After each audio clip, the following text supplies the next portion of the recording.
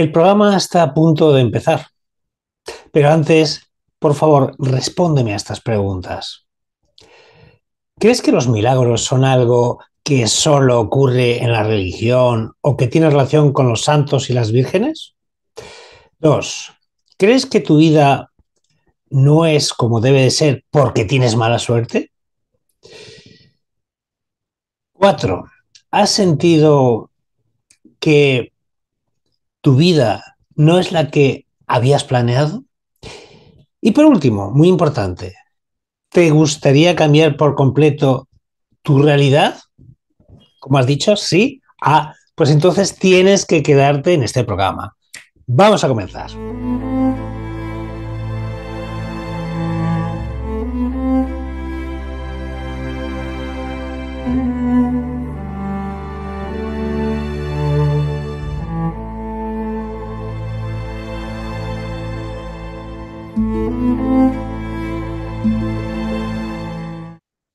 Vamos a comenzar ya, amigos, amigas, en este domingo que se nos acaba ya el mes de marzo, mañana lunes empieza ya abril. En este programa te voy a revelar grandes verdades que detrás de ellas esconden las claves para que ocurran milagros en tu vida. Entiéndase por milagro, pues ese suceso increíble y hasta imposible que puede eh, y que de hecho ocurre en nuestras vidas. Yo voy a hacer en diciembre 60 años y puedo deciros que yo sí creo en los milagros porque no he tenido uno, dos o tres, he tenido cientos de milagros en mi vida. Sanación de un cáncer de eh, hipotiroidismo, no sé si puedo ver la cicatriz, eh, cuando me habían dicho que yo me iba a morir, Em, salir de la ruina, no una ni dos, sino varias veces. Cuando digo ruina económica, digo no tener ni para comer y tener que dormir en la calle. No una, ni dos, ni tres, varias veces. Por ejemplo, en una ocasión no teníamos ni un céntimo para comprar eh, la comida de mi hijo Gerson cuando él era un bebé. Y yo había olvidado que me debía una empresa para la que trabajé un dinero. Ese mismo día miré al cielo y dije, en ti confío, confío en ti. A los pocos minutos apareció el cartero y me dio un cheque de una cantidad altísima de dinero de esa empresa. Y podía recitar y contar montones de milagros que no acabaría. Por tanto, yo doy fe que los milagros existen. Por tanto, como he preguntado antes, si no ocurren los milagros, no están ocurriendo los milagros en tu vida, si hay desgracias, si hay enfermedades que no curan, si hay ruinas económicas, si hay problemas de todo tipo, pues tienes que prestar mucha atención para saber cuál de estos de estas verdades que te voy a decir no estás haciendo. Vamos con la primera verdad. Para contar estas cuatro verdades, cinco verdades, las verdades que te voy a contar, tengo que citar sí o sí a Yeshua, a Jesús el Maestro. Porque las religiones dicen que él hacía milagros porque era el Hijo de Dios, pero él dijo que los milagros que él hacía los podíamos hacer nosotros también. Él afirmó que tenemos poderes igual que él. Pero ¿por qué esos poderes milagrosos no están ocurriendo? Muy fácil, porque los poderes fácticos, igual que los, eh, los que había en los tiempos de Roma, que fueron los que crucificaron a Jesús, los mismos, ahora tienen otros nombres, pues no desean que el pueblo tenga poder alguno, porque quieren sus impuestos, tus impuestos, y para ello tienen que hacerte creer que les tienes que votar, que necesitas al religioso, al, cura o al pastor, que necesitas al político, al alcalde, al presidente. Jesús nos dijo dos primeras claves para que ocurran milagros. Él dio dos primeras claves, pero hay muchas más. Él dijo que las dos primeras claves para que ocurran milagros son la fe y la gratitud. La fe y la gratitud. Es decir, Si tienes, como dijo Jesús, la fe del tamaño de una semilla de mostaza que es así chiquitita, ocurrirán portentos, milagros. Y si no están ocurriendo milagros es porque no tienes fe. ¿Y por qué no tienes fe? ¿Por qué no crees que pueden ocurrir milagros? Pues porque todo el tiempo en la televisión, en las noticias, en tu familia, desde que te educaron, en las películas, en lo, lo, que lees, todo el tiempo te dicen que todo es un desastre, que todo está mal, que igual va a haber una tercera guerra mundial, que hay una gran corrupción política en todos los países, que, que es imposible que tú puedas ser rico porque... Mm, etcétera, etcétera. Es decir, no tienes fe porque te han convencido de que es imposible que todo mejore, ¿verdad? Es decir, la fe se basa sobre todo en olvídate lo que digan ahí fuera.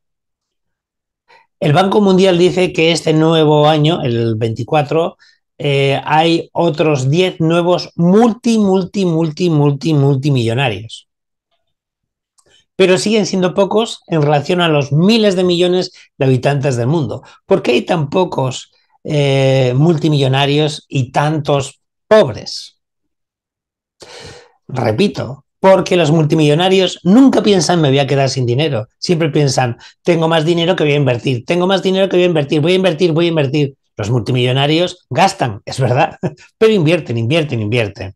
Así que debes tener la fe de que cualquier cosa que quieras que ocurra en tu vida puede ocurrir. En el momento que digas, ay, pero es que yo me cure de un cáncer, Buah, esto es imposible. No, no lo es, porque yo me curé.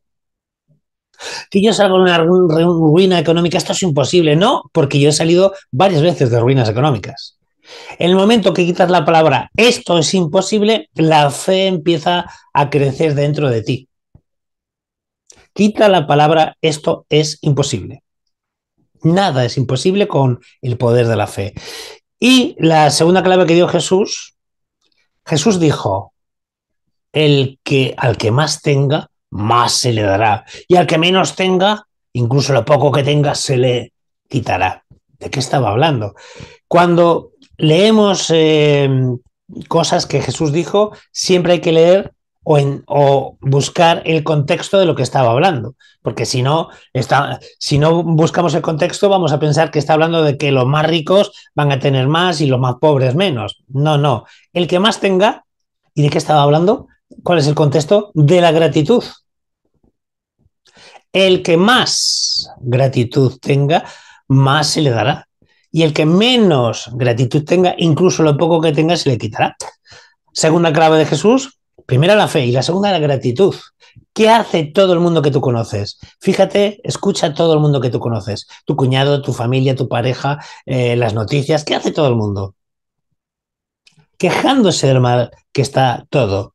¿Has escuchado alguna vez, has ido a, la tienda a comprar, al supermercado? ¿Te has encontrado con alguien que diga, ay, doy gracias por, por llenar el carro de la compra? O doy gracias porque tengo un maravilloso marido y unos estupendos hijos. ¿Has escuchado eso? La gente siempre se queja del marido, de los hijos que tiene, de lo mal que está todo, que todo está caro, ¿no? en el momento que empieces a dar gracias de corazón, no de boca, de corazón, sinceramente, todo el tiempo por todo lo que tienes, te lo prometo, con la fe y la gratitud, solo con estos dos, ya empezarán a ocurrir milagros. Ay, maestro Lojas, yo lo he hecho y no ocurren milagros. No lo habrás hecho de, de corazón. Repito, de corazón, dar gracias sinceras, eh, sintiéndolo, no hacerlo por hacerlo. Es como si digo, te quiero, pero no lo siento. ¿De qué sirve que te diga te quiero, no? Pues con la gratitud es igual, no tienes que decirlo, tienes que sentirlo, con los ojos cerrados. Gracias por este día de vida, por esta luz maravillosa que entra por esta ventana y hace que me veáis nítido. No he empleado hoy ni focos ni nada.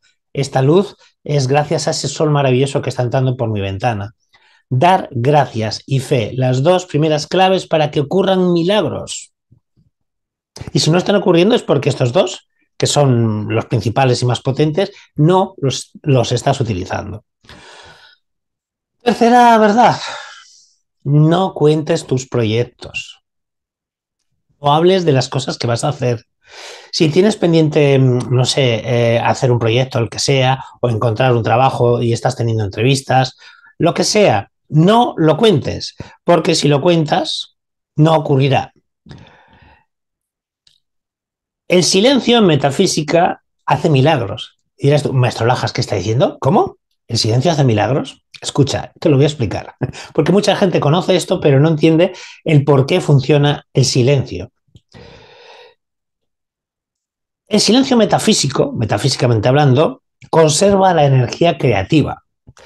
Al mantener en secreto tus proyectos, tus aspiraciones, todo lo que quieres que, que vas a hacer, vas a evitar disipar tu energía creativa al discutirlo prematuramente con otros. Es decir, si tú le dices a alguien, voy a hacer este gran proyecto, ¿sabes? Casi seguro que te van a decir, pero ¿dónde te metes? Eso cuesta mucho dinero. Yo conocí uno que lo hizo y se fue al traste. Además, ¿de dónde vas a sacar el dinero? Y cuando hablamos demasiado pronto sobre nuestros planes o, o proyectos, corremos el riesgo, grábalo, de dispersar esa energía antes de que haya tenido la oportunidad de cristalizarse en la realidad. El silencio nos permite concentrar. Apunta. ¿Estás apuntando? El silencio nos permite concentrar y conservar esta energía para impulsar la manifestación de nuestros deseos. Pero también el silencio, el no contar nuestros proyectos, protege contra la negatividad. Protege contra la negatividad. Compartir nuestros proyectos, como acabo de decir, eh, pues eso, puedes poner eh, nuestro proyecto a críticas, como acabo de decir, no, eh, pero con dónde te metes, eso es muy difícil, con la edad que tienes, etcétera, etcétera, ¿no? Por eso mantener, repito, en secreto nuestros planes nos protege de esas influencias negativas.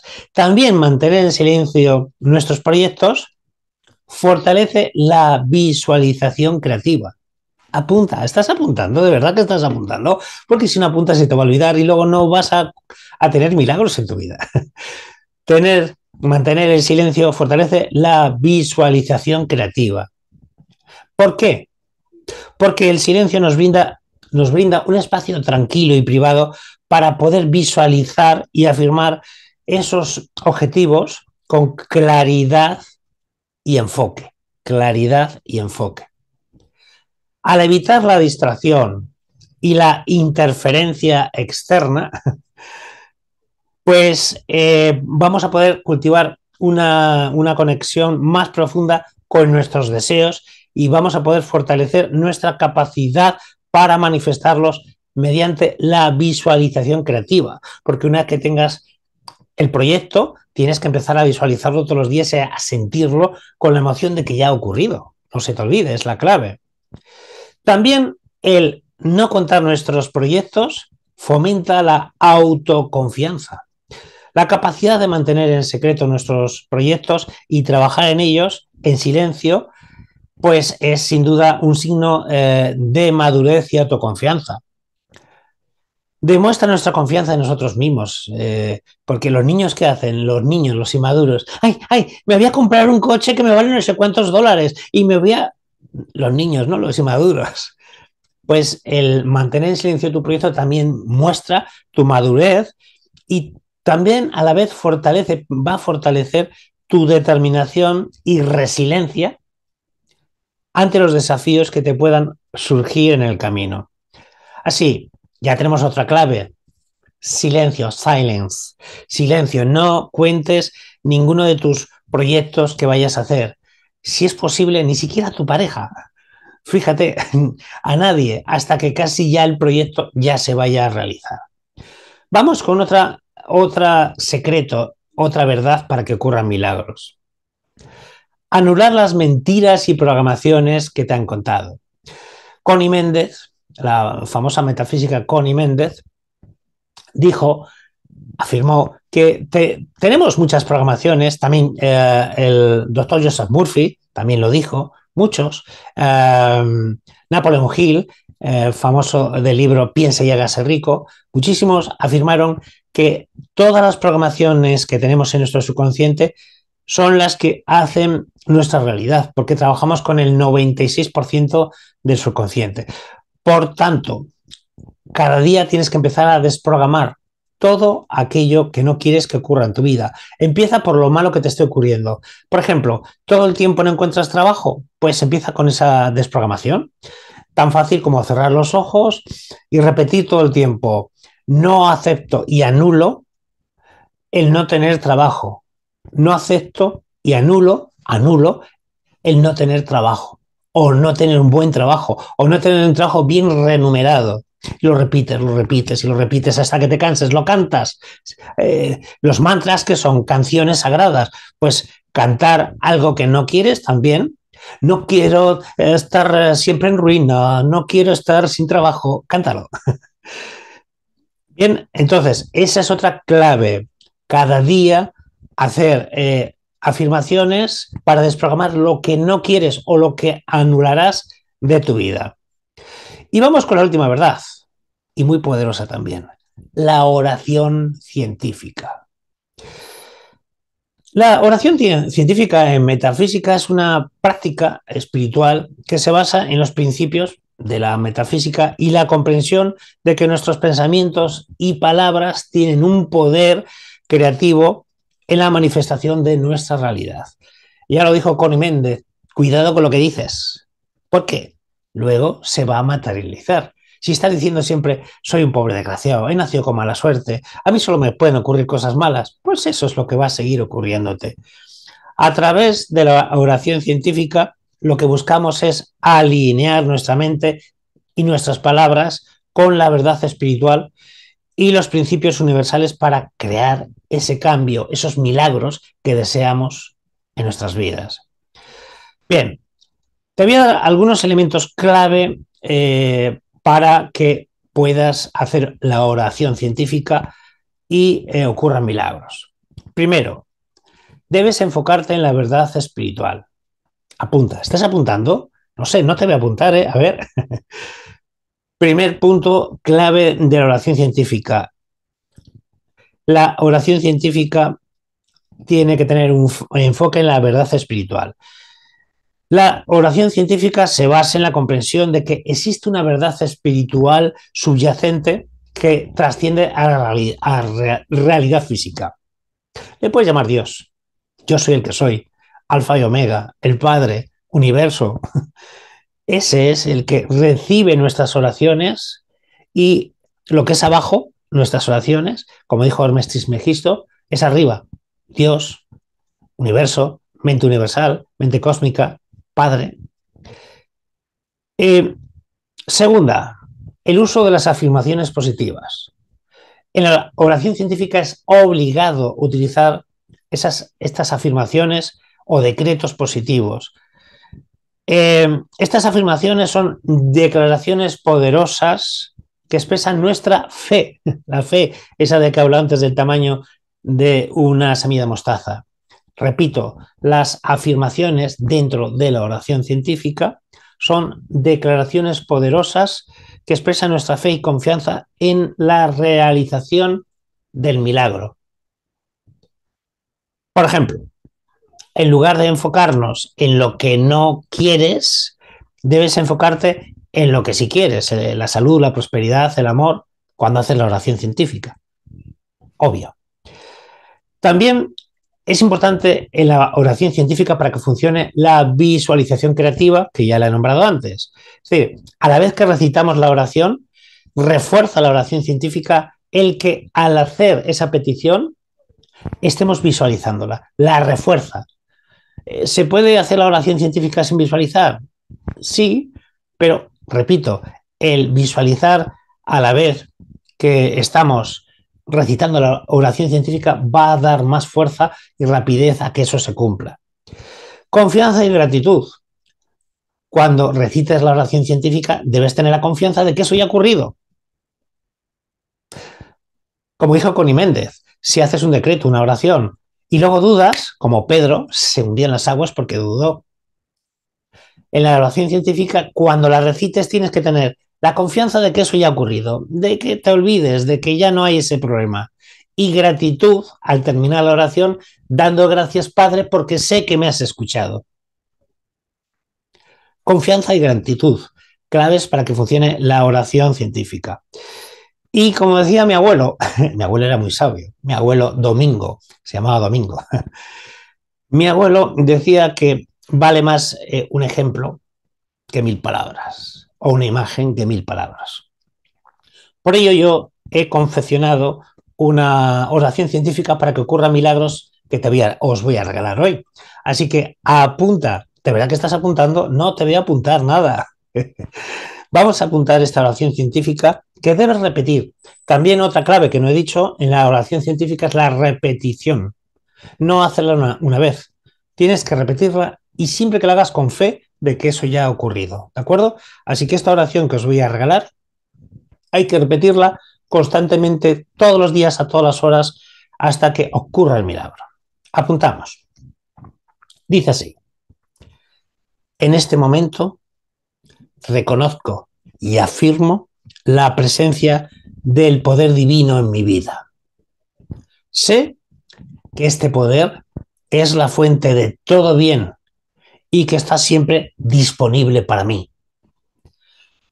Con profunda gratitud afirmo que los milagros son parte natural de mi experiencia en esta vida. Reconozco que soy un ser creado a imagen y semejanza de Dios y que tengo acceso ilimitado al poder creativo de Dios. Me libero de todo miedo y duda, sabiendo que la verdad espiritual es mi guía y mi protección. Confío plenamente en que los milagros están ocurriendo en mi vida en este mismo instante. Visualizo claramente mis deseos ya manifestados. Me sumerjo en la sensación de gratitud y alegría al ver estos milagros que se van a manifestar en mi vida, en mi realidad. Me comprometo a mantener mi fe y mi enfoque en la verdad espiritual, sabiendo que cada pensamiento y palabra que emito es una semilla poderosa que se siembra en el campo fértil del universo. Doy gracias por la presencia de los milagros en mi vida, por las bendiciones que ya están llegando y por lo que está por venir. Confío en que el universo, el Padre, Alfa y Omega, yo soy el que yo soy, siempre va a conspirar a mi favor y que los milagros son mi derecho de nacimiento y no van a cesar en manifestarse una y otra vez. Así lo creo, así lo acepto, así es. Gracias, Padre, porque sé que me has escuchado. Éfata, éfata, éfata. Bueno, pues esta oración científica que os regalo hoy, que ha sido confeccionada con ayuda de mis guías espirituales, os prometo y os aseguro que si la repetís y la hacéis con fe, más si seguís los demás consejos que os he dado en este programa, seguro que los milagros no tardarán en manifestarse. Si te ha gustado este programa, ¿sabes qué puedes hacer? Compartirlo. Si eh, no te has suscrito, suscríbete, es gratis. Y cada vez eh, que yo suba un vídeo, te va a avisar YouTube. Y si de verdad te ha gustado, dale un like con el dedito y haz un comentario. Y acordaros que este canal es hermano de la web maestrolajas.com, donde tenéis mucho material que os puede ayudar en vuestra vida a mejorar y a cambiarla. Os bendigo, gracias por ser y estar siempre ahí. Os amo, gracias.